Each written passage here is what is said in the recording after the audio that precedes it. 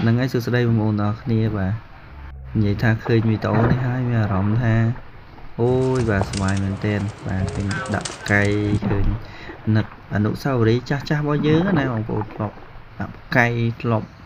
បាទវាស្រែឃើញមានត្រីធំធំត្រីទូចទូចចឹងកាលនៅមាត់ស្រែមាត់ស្ទឹងបាទបឹងបួអីចឹងណា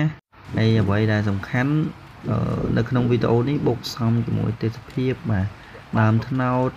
ស្រូវបងប្អូនយើងក៏ច្រូតហើយអញ្ចឹងរំលេចជាមួយនឹងពលឺថ្ងៃតិចតិចអូយនិយាយថាវាអែមមែនតើហើយនៅក្នុងនេះគឺជាត្រីដាក់បកាយបាទមិនធំទេទូចទេបាទទូចទេប៉ុន្តែបាទយើងយកមកបាទប្រឡាក់ហូបអី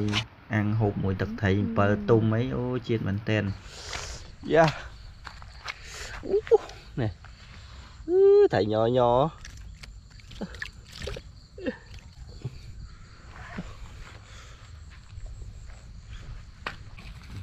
ចេះណានេះ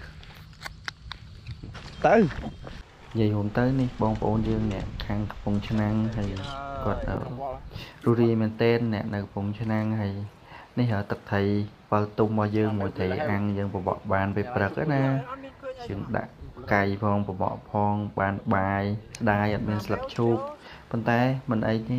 បាទ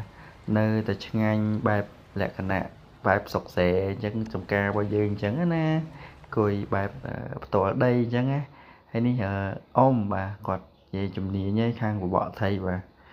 អូយឃើញគាត់អញ្ចឹងឯបាទបបកអត់ឈ្នះគាត់ទេណាពីអ្នកពូម28បើនិយាយពីទេសភាពនៃខែរំហើយនេះវិញមិនបាច់និយាយទេបងប្អូនហើយបើទៅទៅបោះតង់អត់មានភួយអីទេចាប់ហើយហើយសម្រាប់ទស្សនភាពនៅរដូវរំហើយនេះវាបុកផ្សំជាមួយខ្សល